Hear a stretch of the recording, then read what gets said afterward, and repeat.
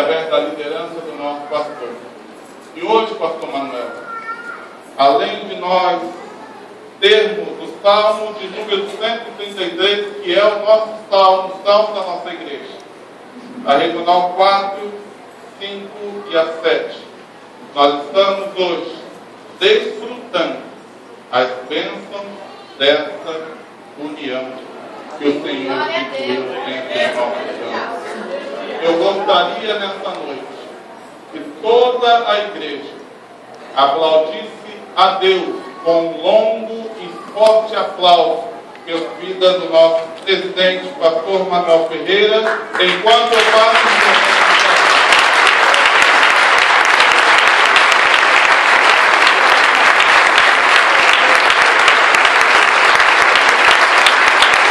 apareço para Maria e fala: Maria, salve agraciada, bendita sois vós entre as mulheres.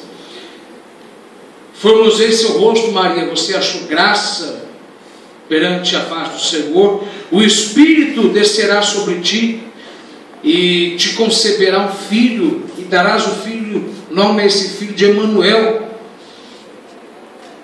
E este filho será como juiz sobre Israel e aí Maria, quando ouve isso, ela fala, gente, que coisa boa, olha coisa boa, vou casar com o homem que amo, tá tudo bem, já contratei buffet, já, já comprei vestido, a casa está mobiliada, e agora Deus vem e diz que além de eu casar com o que eu quero, além de eu ter o casamento que eu quero, eu vou ter um filho.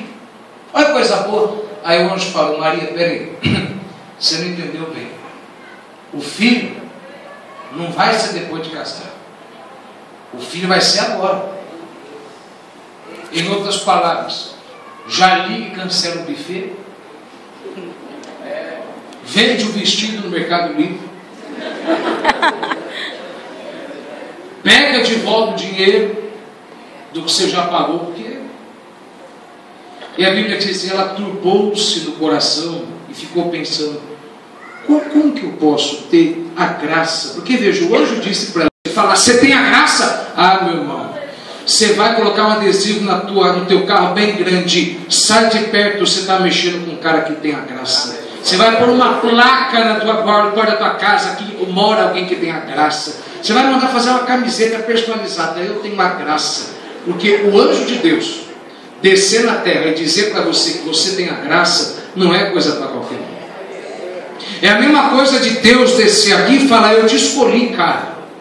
Eu te escolhi. Olha, não adianta mexer com você que eu te escolhi. Isso era maravilhoso. E agora ela se pergunta: Como que eu posso ter a graça de Deus, mas engravidar antes de casar?